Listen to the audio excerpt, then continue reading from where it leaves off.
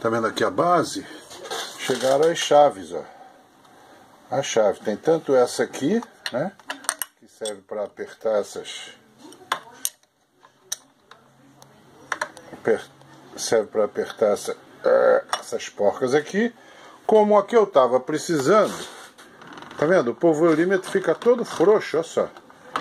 Todo frouxo. E toda hora eu tenho que apertar esta porca aqui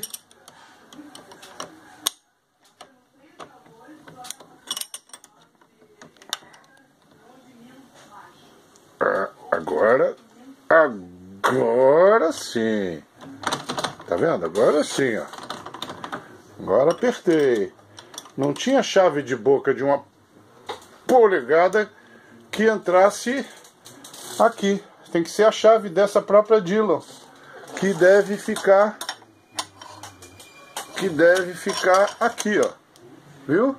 Naqueles outros buraquinhos eu vou arrumar aqui esse monte de chave Allen que chegou agora. Então, o jogo de ferramentas fica aqui atrás. As chaves Allen e essa chave de boca de uma polegada com também essa essa outra aqui que justamente é dos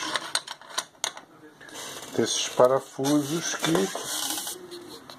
desses parafusos aqui que prendem a